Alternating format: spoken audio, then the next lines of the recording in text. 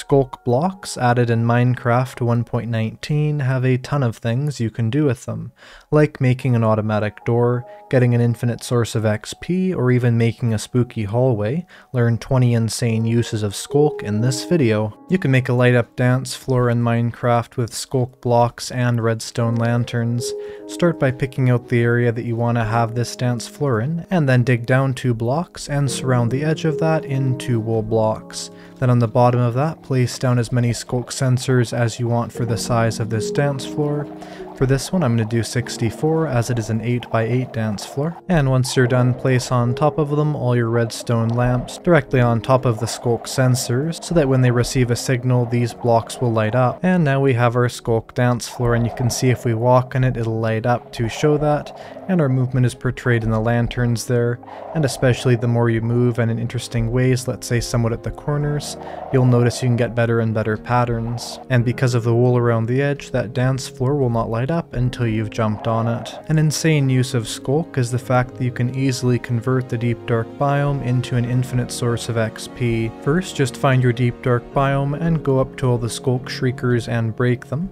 What you can also do is you can fully surround them on every single side with wool, although of course this doesn't always work depending on where your Sculk Shrieker is placed, and so be careful that you do not set any of them off but once the Sculk Shriekers are gone, then the Deep Dark biome is a fully peaceful mode and safe biome where no hostile mobs can spawn.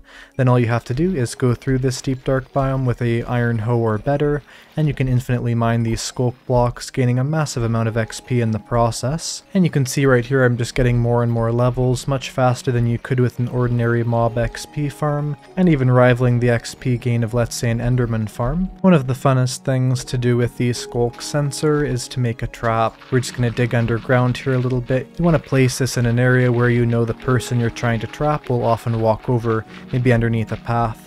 You want to mine a very large way underneath here, so that when you block this back up it does not trigger that sensor. Then dig up to make sure you're right above the ground, and basically fully fill this area in with TNT like I'm doing right here.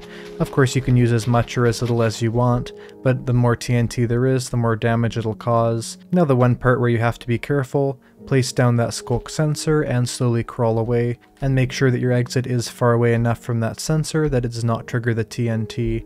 Now you can go up here, block this area off, the grass will grow over there, and when the next unsuspecting person walks by just normally, they'll have literally no way of knowing the trap's there until they hear it, and then all that TNT will explode instantly, blowing them up. Here's a great way to see how active someone is on a multiplayer server. Go up to their door and place a singular sculk vein on it, and ideally you'll want to place it on whatever side of the door the player is not going to be using. This definitely works the best on a door like this, and let's say the player last logged off here, what you could do is you could place a sculk vein on the outside, but when they're in their house here and they finally log in and they open the door, they will see something break, although they probably won't know what it is, and they'll just think that's weird and continue on. But now when you come by and you notice there's not that sculk vein on the door, you will see that that player has logged in, and you could even use this just to see what buildings players are going in and out of, or maybe even what houses villagers are going in and out of. Let's say in this village here, we could see which village houses are actually actively occupied or not, by simply placing a sculk vein on the door of each one, and whatever houses have these sculk veins still there after let's say maybe a couple days, you'll know those houses have no villagers that are using them. You can make a really cool security system out of Sculk. and as an interesting example of that, let's place down the Sculk sensor on the villager house's roof, and place a water bucket on it that'll make it so that it'll make no noise when something activates it. So for instance going here, there will be that particle, but that's all. And of course in an area like this where anything could set it off, that's not very ideal. But let's say if you have a massive base, you could place this down one of the entrances, place down a dispenser and inside of it place a lava bucket or maybe a piece of TNT. And then you have a system where if a player is not being careful, they're going to walk into a certain area and they may not realize what's going on until it's too late. But when they die, the lava will go back into the dispenser as that'll cause another signal. With just a couple sculk sensors, a trapdoor, and some glass, you can make a pet warden trap.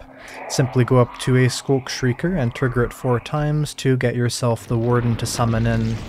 Then go to the place where you want that warden to be, place down two of those sculk sensors, and place a trapdoor beneath them. What will happen is that trapdoor will flip on and off like this. and You'll notice it's sending signals to the warden, which will be fully distracted by it. So unless you touch the hitbox of the warden, nothing you can do will make the warden chase you. Instead of that, is go around the warden placing glass, making sure not to touch its hitbox, and you can make a cage for that warden just to be 100% sure that it won't be able to notice you. And you can finish by placing the top. Just be aware if you do place a glass block that happens to touch the head of the warden, it will then switch into trying to track you and you'll know that because it'll start sniffing. But if it does do this, you can simply run away as the warden is now trapped just outside of that 20 block radius, and after a couple minutes it'll become passive again. Now on from the dangerous side of the sculk to the more decorative. If we surround an area down beneath a patio or maybe porch area that we've built in our world. Then we place down a sculk sensor and a redstone lamp on top of this, and continue this pattern with the sculk surrounded by wool with the sensor and having the top of it be the redstone lamp. Then we can have this super great and decorative patio lantern that will only light up when we're over it. And if you do not like the sound, you can always put a water block on that sculk sensor to make it be waterlogged, and that'll cause there to be no sound but these motion activated lights that stay on for actually quite a while after you've activated them are a really great decorative piece to any patio or porch build you have. As in real life there is some motion activated patio lanterns like this that make a super cool display, and because they only light up when you're right next to them you can have this really fancy effect. Another great decorative use of a different sculk block is that it looks sort of like the night sky, stars, space, something like that. It actually does also bear a resemblance to the end gateway or the end portal, which is funny as the color scheme of the end portal blocks really does look a lot like the color scheme of some of the sculk blocks. But either way, if you place down some end stone to make it sort of look like the surface of the moon, and then you fully surround it in a whole bunch of the sculk blocks, and also place sculk blocks on the roof and even finish this by placing down a waterlogged jungle leaves, which sort of resembles the earth. You can make this awesome decoration where it looks like we're sort of walking on the surface of the moon. We have the night sky around us, and it's even glowing and twinkling, which makes it look more like stars and when we look up towards the sky, instead of seeing the moon, we see Earth as we're standing on the moon. Now the ancient city's loot chests can be disappointing, but surprisingly enough the treasures you can find in the deep dark biome itself can sometimes be better. So simply find yourself a large cave full of deep dark blocks that does not have any shriekers nearby and if there are shriekers, just surround them in wool or break them. Then using an iron hoe you can break all these blocks, what will be revealed underneath them, or at least could be, is different ore blocks. So you could find diamonds, you could find redstone, you could find gold or lapis, or really any block that would occur this deep underground. Maybe even rarely you would find yourself some deepslate iron, and you can see already we found a whole massive amount of ores. And so simply using something as simple as a iron hoe and an iron pickaxe, you can super effectively mine items. What's also great is this is not affected by the air exposure rule, which means that diamonds diamonds will generate underneath the sculk you mine as frequently as they would generate in blocks you've mined up in a strip mine. Here's a cool way to use sculk to add some interest to your builds. Let's say right here we walk into the door and you'll notice a book appears. Now of course right here we have a library, so this could show that there are books actively sitting in the library that are being read. Now the real question is, how did I make this? Well now that I've broken the blocks in the floor, it's super simple. You can see right underneath the door, where we would be entering in, we have a sculk sensor that's waterlogged so that we cannot hear it, and there are also wool blocks all around it so that's only triggered when we enter in the house. We have a comparator reading this block so that we can easily get the signal from there, and all you'd have to do to make a certain signal unlock this is simply place the repeater at a certain distance from this comparator. So let's say a signal of 3 is the one that you'd want to unlock this, simply place it right here.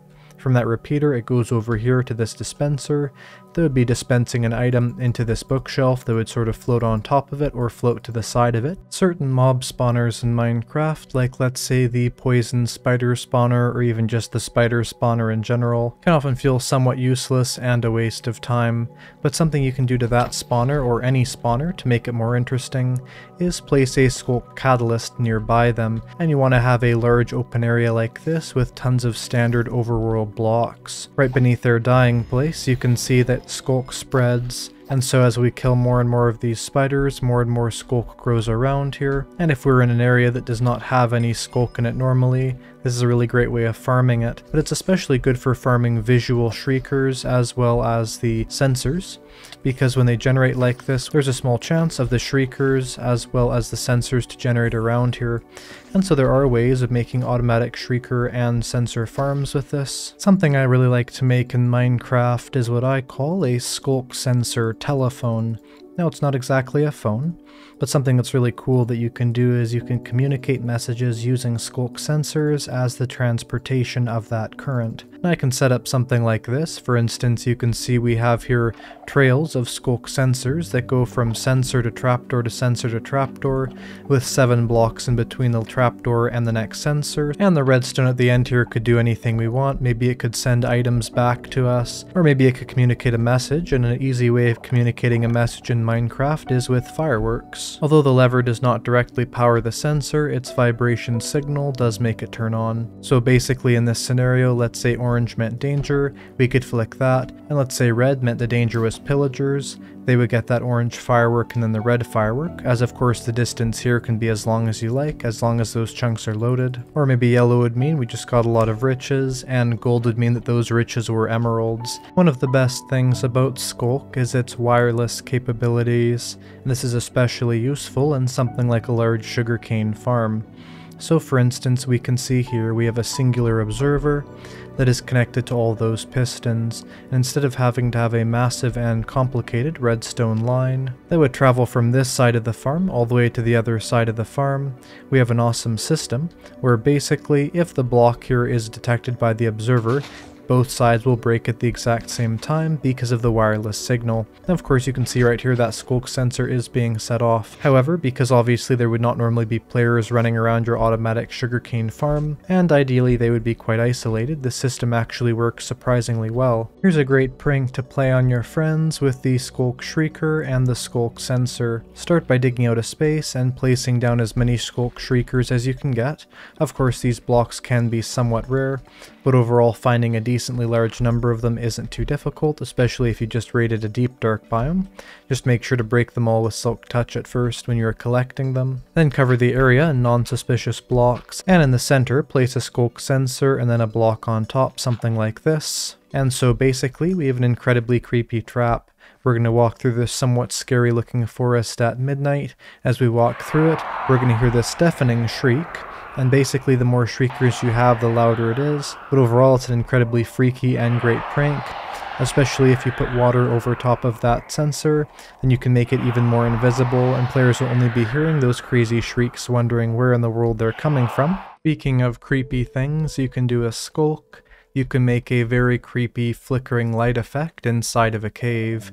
And so if you notice right here on the roof, we have those redstone lanterns that are spookily turning on as we walk, but because the entire rest of the cave is dark, it really makes this scary effect, where basically we can only see around ourselves and nowhere else. All you have to do is dig two blocks above the base level of the cave, Place down the sculk sensors like this, then waterlog them and you'll notice no water actually escapes from the bottom so it's quite easy. Then place the redstone lamps on the bottom of them and you'll notice they'll silently flicker on and off. Now if you want the sound just do not waterlog it, but if you don't you can have it like that. Another awesome thing you can do with sculk sensors is make an automatic door and so whenever I go through the door it'll automatically open. And the way this works is we have a sensor right here connected up with redstone to a torch that's going to always power these on. And the wool here stops this sensor from being turned on by that. So if we let's say break this piece of wool what'll happen is that would form a clock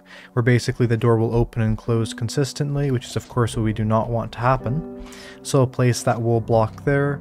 And then basically we have a working automatic door that is fully wireless and makes your base seem a lot more modern. It's also quite compact, you could probably make it even more compact than this. And depending on where your sculk sensor is, you could either make it one way like this door is, or two way where whatever direction you go through, that sculk sensor will pick it up and let you through the door. And so I would say really any situation in which you do something wireless, especially like a door, the sculk sensor is the perfect option, for either making a redstone signal travel or even just for picking it up in the first place. One other great use of the sculk vein is to sort of make things have the pattern of something like a magma block, which is sort of like lava and that netherrack texture. So for instance here we could place down some blocks of different items and put that sculk vein on top and more or less we can use this to transform an existing block into a whole new type of block, which is really a revolutionary build technique, as obviously the number of blocks in Minecraft is quite limited, but with these sculk veins on top of it, especially depending on what type of block it is, you can really make this transform into what looks like a whole different type of block. Or you could even use the sculk veins just as a sculk vein, where basically you're making it look like sculk is slowly taking over your builds. Here's a great way to do a long-term troll on your friend. Find one of their mob farms and dig beneath it a little bit, and once you're beneath it simply cover it up like that, and then basically make a small space underneath here so that there's lots of applicable areas for a sculk catalyst to grow to. Then go to that center spot and put that sculk catalyst and put an observer facing that, and then surround the entire area in all the TNT that you have. Basically that sculk catalyst will not grow to the areas around it unless your friend kills one of the mobs in its mob farm, and so as long as there's a block that that sculk catalyst can grow to, the observer will sense that it made something happen, and all the TNT will blow up. So let's try that right now. Just minding our own business, we're going up to our pig farm to kill some of our pigs, and we'll probably notice that that sculk grew there and we'll wonder why. We will not notice and will not expect is for all that TNT to explode. Imagine you arrive to what you think are defenseless castle walls, but you are actually shot in the face with a bunch of arrows. When you try and see how they're sensing that you're there, you look around, you cannot hear it, you cannot find it, and so basically you'll either die of the arrows or at least be somewhat damaged in this fairly decent castle defense. Well, what's going on here? Basically, we have a redstone line going back here that powers these dispensers full of arrows. Arrows can be shot through dispensers even if they have a trapdoor in front of them, and so we can safely have those be hidden like that, so it'll take a minute for players to realize what's going on. Then the redstone line back here that is extended so it doesn't run out goes back here to a comparator and repeater that are connected up to a waterlogged sculk sensor so you do not hear it and so it's much harder to find it and deactivate it. And you can see connected to that we have this comparator and repeater. And so basically whenever that senses anything it'll fire all those arrows which will very promptly kill anything in front of it. And so it's the perfect way to have this wall of arrows defense. Making redstone travel vertically can be very difficult with things like, let's say, observer chains being the best option compared to maybe a towering staircase of redstone in a zigzag pattern of slabs, but now there's an even faster way to make redstone travel. Basically, utilizing the same functions as the sculk telephone, we have a sculk going up to a note block which functions like the trapdoor, then 7 blocks of space, then sculk a note block, 7 blocks of space, and so on and so forth. And it is quicker than this observer line, so if we break the bottom observer and we look up here, we'll see which firework launches first, the firework on the left does, and then only after a couple more seconds do we get the firework on the right, which proves the sculk is much much faster than the speed of the observer line. Anyway, I hope you enjoyed this video about all these things you can do as sculk in Minecraft. Feel free to comment down below your favorite use of Sculk, like the video if you enjoyed it, and I will see you in the next one. Goodbye!